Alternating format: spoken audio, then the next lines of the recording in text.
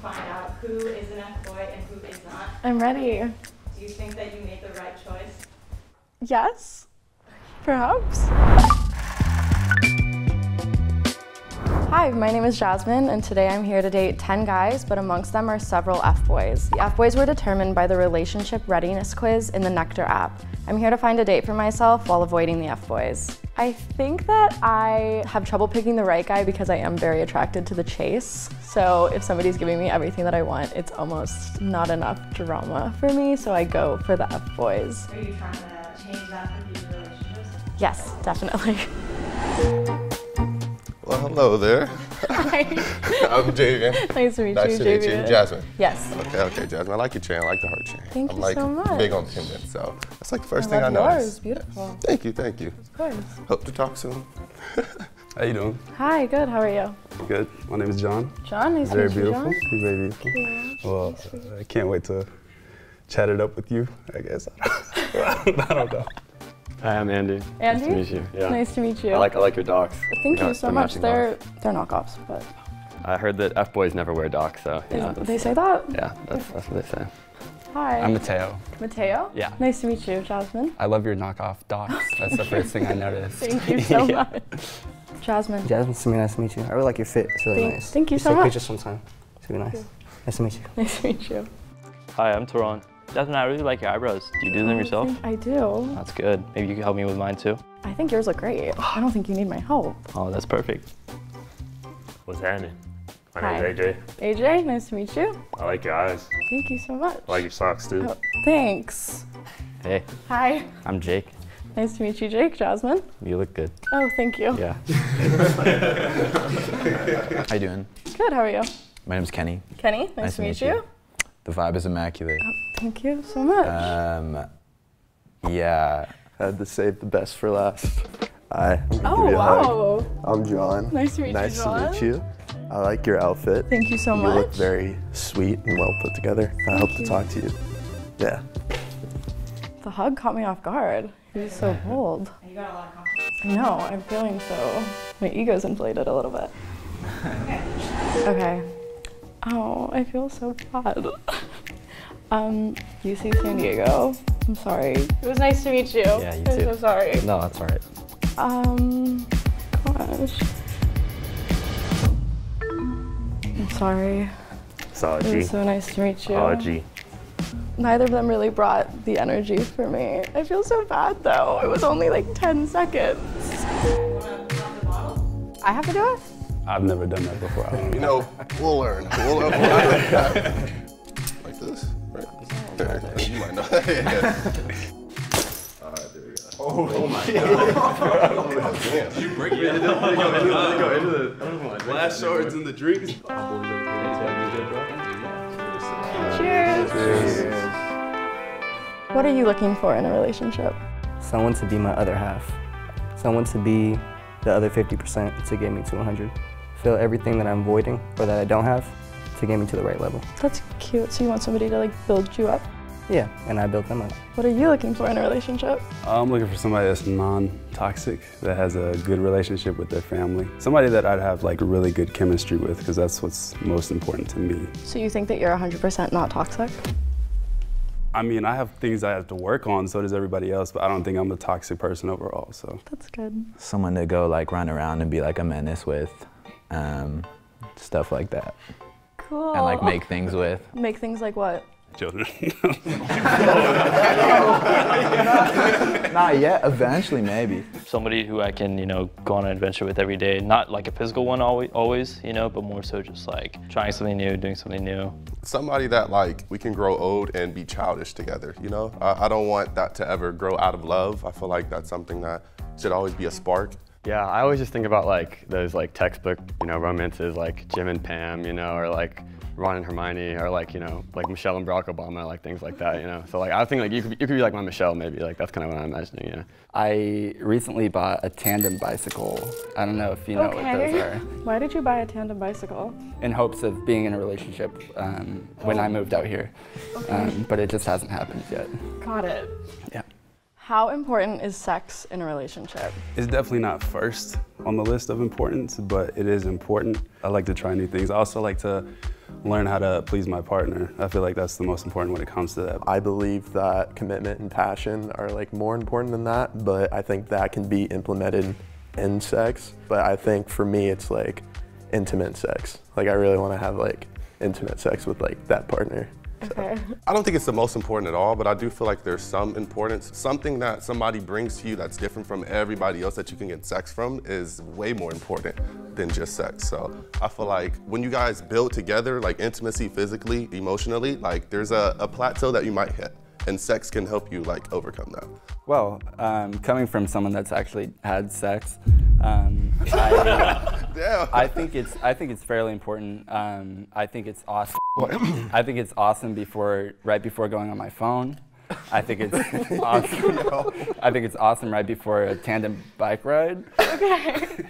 At the moment, I'm not actively looking for a relationship. It's not something that I feel I need to complete me, but I feel like if I do meet the right person that I get along with, it would definitely be something that I was interested in and open to. I would love to hear what everybody else is looking Honestly, for. honestly, I, I, I say the same thing. Like, I'm not, I don't go outside every day or whatever and be like, I need to find somebody, I need to look for something. Even in like social gatherings or if you go out, it's kind of like something that just comes to you. Like, and I feel like that's important. Like, you'll feel it, like Yeah. energy-wise, you know. Yeah, I wouldn't say I'm looking for anything either. Like, I mean, sure, I'm on Tinder, Grindr, Bumble, all those, but I mean, like, it's just like casual. just you know? outed like, yourself, it's bro. just like it's it's it's not like anything serious. You know? You're on all of the apps? Um, what I, I say Hinge. What else did I say? Um, Bumble, Grindr. Tinder, Grindr. Grindr. Christian um, none of that can really compare to like meeting someone in person and really like getting a vibe like like we have right now. So yeah. I agree with that. I think getting to know someone in person and kind of just like feeling it out.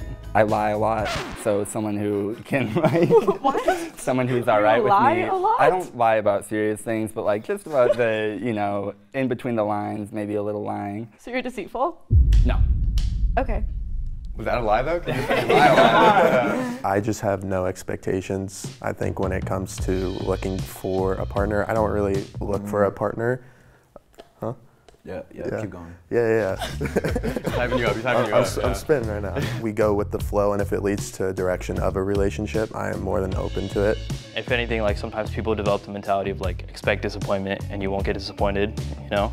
But um, like in the meantime, when you're like I'm not like actively looking out there, just working on being like a better person yourself. But at the end of the day, like you know, uh, everybody needs like that support just to grow and whatnot. So, I mean, yeah, that's that's kind of where I'm at. I got a question. What are some red flags that you're just like that's a deal breaker for me? Um, Is lying one of them?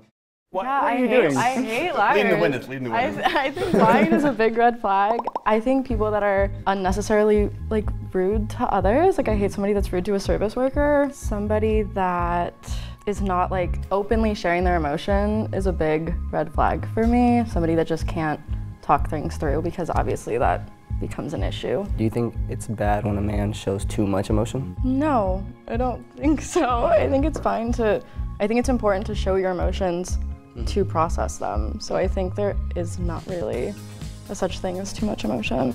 Do you guys find emotional or physical intimacy easier? I find emotional intimacy easier. I used to struggle with that in the past, and I've been to like therapy and stuff like that. I've also been to couples therapy, and I've learned good ways to communicate with my partner. Emotionally, I think it was easier too, just because like I'm someone who's open, so like I'm willing to open myself up and tell my significant other or the person that's with me to you know what's really going on. But I think physical, it's like it's also easy, but because emotionally you really have to open up. But wouldn't that make it harder?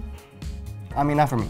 Okay. I've, I've been able to like do that. So I think both are really hard. I think it just comes down to the person, really. Like, if that person is really shallow, shallow, why should I be emotionally intimate with that person? Emotional is harder because it's not like you're gonna get along with everybody. Like you can go somewhere and there's tons of attractive people everywhere. So I feel like physically you can be like, oh, he's hot, he's hot, you know what I mean? But emotional, it's harder because it's just like, yeah, you guys have to click. You have to feel that energy. I think it's just a harder skill. So I have some ideas, but I feel like they're all saying the right things, and I feel like some of them are lying. But I might have some idea, but I'm not entirely sure. Then I'm gonna have you eliminate three guys Okay. whenever you're ready. Nice to meet you. Nice to meet you too. It was a lot of fun. I'm gonna keep lying. Perfect. Um, Kenny, I'm sorry. It's okay. I'm emotionally unavailable. Oh, okay. Easy. Um, when he said that he wants someone to run around and be a menace with, that kind of ticked it off for me. Um, with you. I'm sorry. Hey Jasmyn, nice to see you Hi. again. Samir. Nice to see you again. Nice to see you again. Nice to see you again. Thank you for letting me make it this far and picking me. Of course. All right, how are you? How are you? I feel like that's Mm, important. I'm doing good. Yeah? Thank you for asking. Are you still nervous? No, I'm not as nervous anymore. You good now? Mm-hmm. That's good. You in school? No, I graduated. Yeah, still in college. What are you studying? Doing accounting right now. It's very boring. You very like boring. numbers? Yeah, it's like a ethnic little thing. People Okay. like, oh, brown people good at math. it's a little saying. but Okay. yeah. What was uh, your first impression like of me when you saw me? Or like I guess just this whole time? I think that you have great eyebrows. Oh, that's perfect, you know?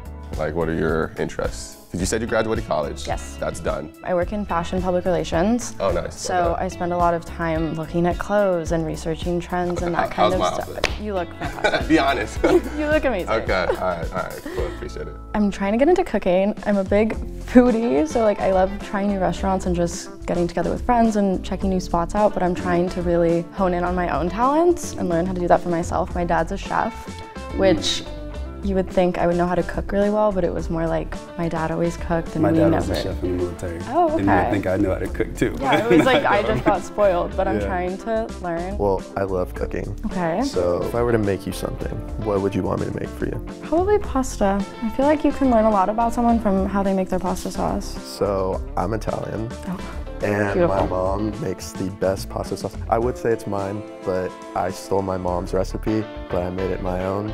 I make a really mean pasta dish.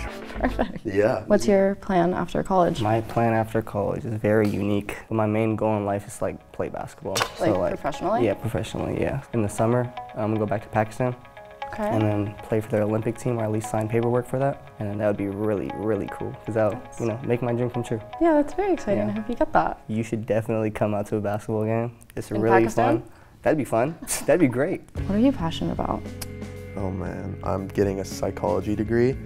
Um, and I want to get like my master's too. I want to be a sports psychologist. So like that's kind of like where my head's at with that. I love snowboarding too. I've yeah. never done snow sports. Yeah. Isn't that scary? I, I could take you sometime though. We can learn together, right?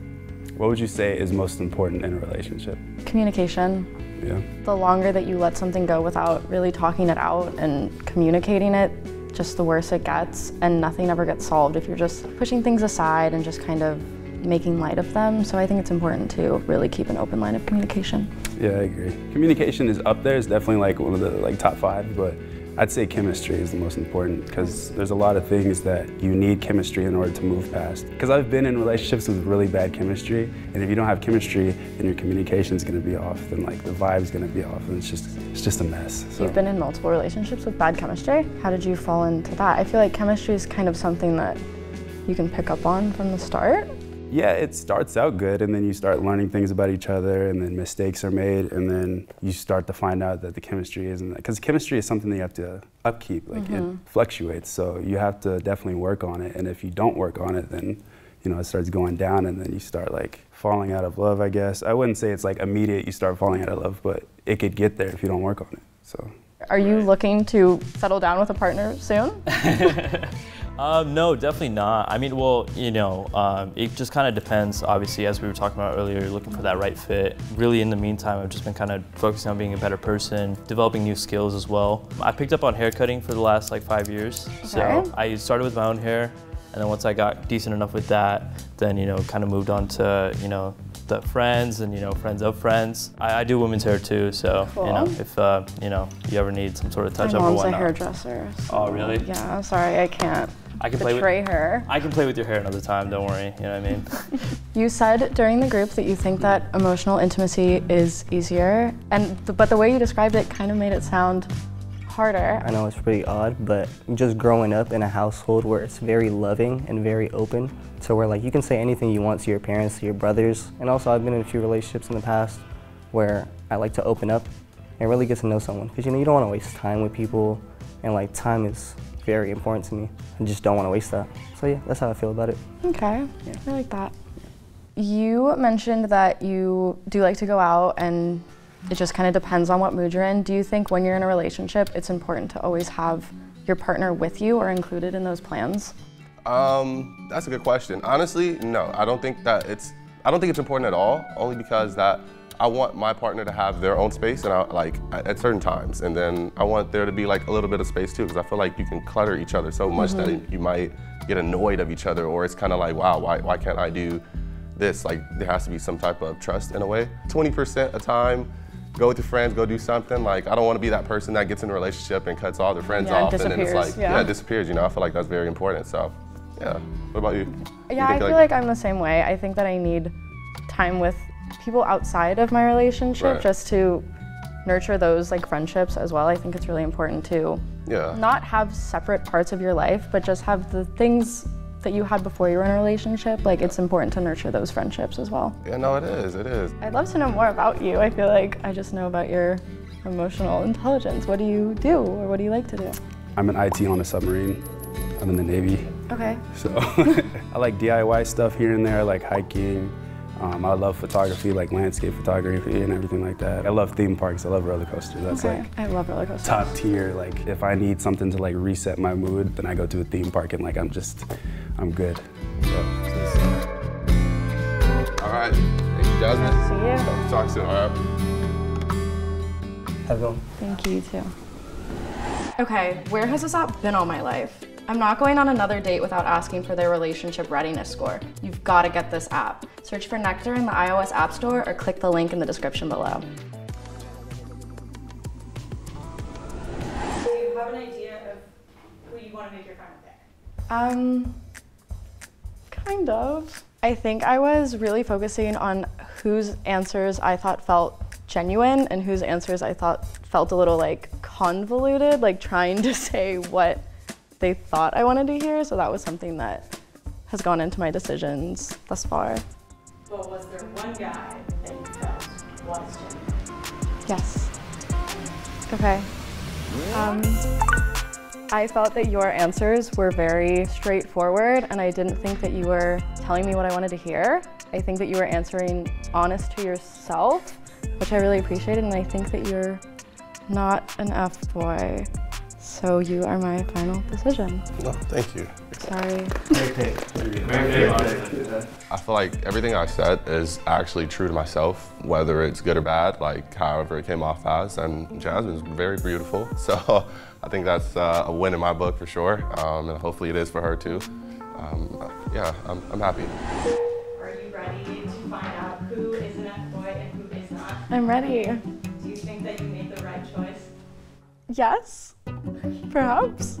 You all took the relationship readiness test on the Nectar app. I gave you a number one through 10, uh, one being not ready at all for a relationship, and then 10 being super down for a relationship. Guys that score between a one and a three are considered the F boys, while guys who scored between four and six are a little more serious, but still kind of feeling things out, whereas guys who scored from seven to 10 are relationship ready. Let's start. Hi, Hello again. I'm Jake. I'm not an F boy. Hi, my name is AJ, and I'm not F boy. Okay. Hello. Hi. I'm Matteo. I am an F boy. I knew this. He lies. Sometimes. Hello again. Hi. I, my name's Andy, and I am not an F boy. Hi. What's up, Jasmyn? Hi. Hi, I'm Kenny. I am indeed an F boy. Called that. Yeah. I am Tahran, and I am not an F boy. Okay. Hi, Jasmyn. Hi. I'm John, and I am not an F boy. Hey. Hi again, Jasmyn. Hi. I'm Samir. I am not an F boy. Okay. I thought there would be so many more. long time no see. Welcome. My name is John, and I'm not the F boy. Okay. I'm scared. I feel like I know what's coming. Hey, Jasmyn. Hi. I am not an F Oh, boy.